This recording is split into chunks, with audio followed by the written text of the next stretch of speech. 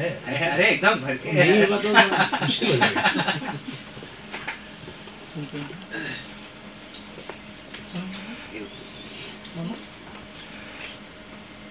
मरी। आपकी आवाज़ नहीं मेरी हल्का सा।